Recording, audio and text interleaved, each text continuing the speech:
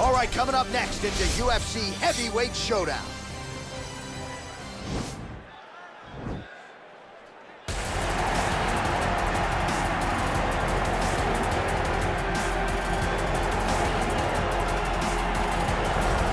Is for my money, Mike, the most well-rounded fighter in this division, a true mixed martial artist at his core, and he believes he'll have a lot of advantages in this matchup. Everyone talked about him being well-rounded. It's unbelievable to watch a guy that can do everything across the board at such a high level. Yeah, he's comfortable wherever the fight goes. Maybe he'll grapple tonight, maybe he'll strike. Makes him a hard guy to prepare for.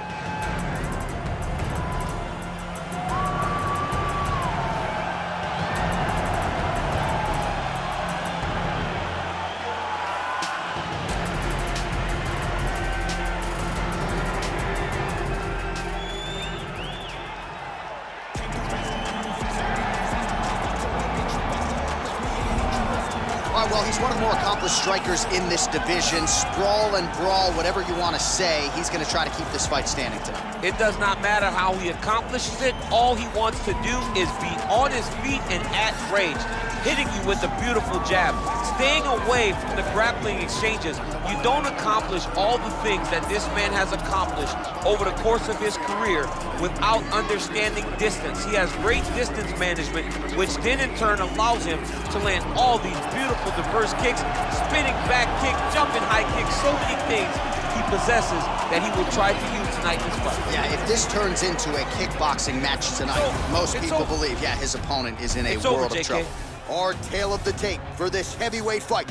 Volkov is eight years his senior. He weighed in at 250 pounds. He will have a seven-inch reach advantage. All right, now for the particulars, here's Bruce Buffer. Ladies and gentlemen, this fight is three rounds in the UFC heavyweight division. Introducing first, fighting out of the blue corner. This man is a mixed martial artist, holding a professional record of 34 wins, 10 losses. He stands 6 feet 7 inches tall, weighing in at 250 pounds. Fighting out of Moscow, Russia, Alexander Drago And now introducing his opponent, fighting out of the red corner. A kickboxer, holding a professional record of 14 wins, no losses. He stands 5 feet 11 inches tall, weighing in at 220 pounds. Fighting out of Mexico City, Mexico, the Flash.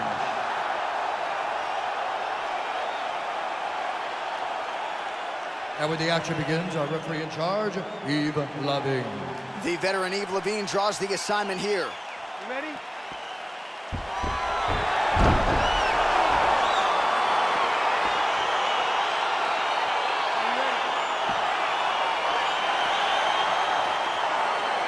All right, ready to go with round one. Shades of Vitor Belfort. Sir. Oh!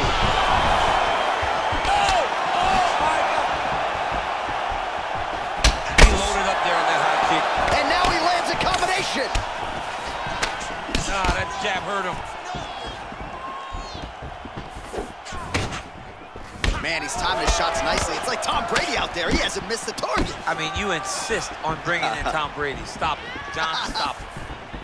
Oh, and there he goes working off that jab. So there's the early takedown. Pretty evident, DC, that he wants to get this fight to the ground, and he was certainly up. Oh, now trying to isolate an arm, DC. He needs to move his hips back to cover. He cannot allow him on that angle. Gotta be careful, armbar.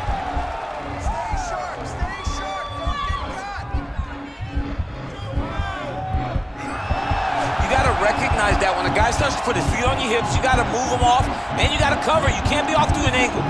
Lands with the right hand. Now he falls back into the finishing position. Somehow stays in the fight. All right, side control now, DC. When you get side control in a fight, what are you looking at? When I get to the side control in the fight, and I believe this young man should do the same thing, it's secure first. Grab everything in tight. Make sure your elbows are in. Make sure you've got something locked in so your opponent doesn't just squirm away. Punch short punches, but try to make the opponent make a choice. Either he turns back into you, you take your front headlock, or he turns in the opposite direction, you throw your hook in, and you start looking to get a choke off. Volkov gets caught with that punch.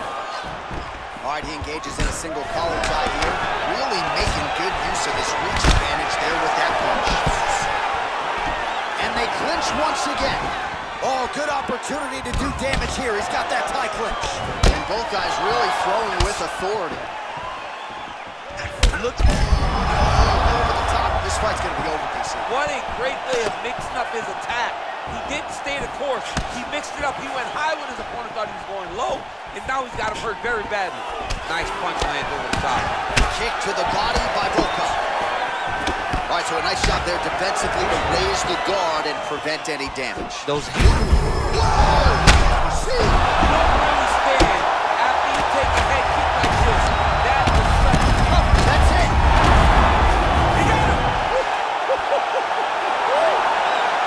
Again, the winner here was so aggressive with his onslaught. He wanted to make sure he kept the judges out of the equation. Mission accomplished on that front as he gets the TKO victory here tonight. DC, no telestrator tonight, but we're going to get you some highlights from this one. This was a fight that had it all, and for my money, his best performance to date. His best performance to date in the biggest moment. In the biggest moment, you got to show up. And that's exactly what he did tonight. He used every bit of his skill to get the job done.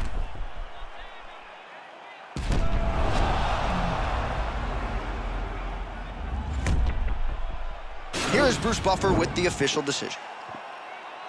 Ladies and gentlemen, referee Yves Lavigne has called a stop to this contest at 4 minutes, 14 seconds of the very first round.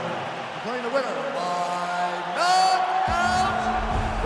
And there is the man of the moment, and what a moment this must be like for a professional athlete, right? I know you enjoyed the birth of your kids, right? But Yeah. you knock out a man in a cage fight. I can't think of anything better. I mean, there's nothing like it. You know, you don't even hear the one that lands, that puts out your opponent's lights. And tonight, he got that done. And he should be very proud of the work he and his coaches got done tonight.